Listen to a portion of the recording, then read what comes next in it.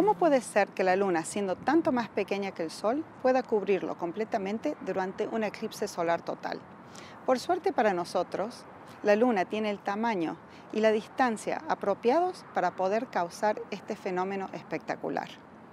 El diámetro del Sol es 400 veces más grande que el diámetro de la Luna, pero se encuentra 400 veces más distante.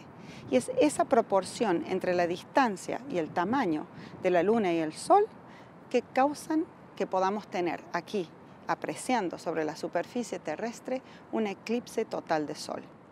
Ahora vamos a hacer una demostración en la que voy a utilizar mi propio pulgar para tratar de cubrir una pelota gigante que demuestra el Sol durante un eclipse. Mi cabeza es la Tierra, mi pulgar es la Luna y ahora vamos a mirar al Sol y lo tratamos de eclipsar. Para poder eclipsarlo tengo que ajustar la distancia de mi pulgar con respecto al Sol.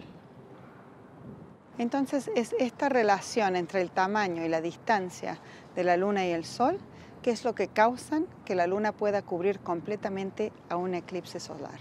Y miren, hasta los puedo eclipsar a ustedes. Ahora los veo y ahora son un eclipse total de mi audiencia.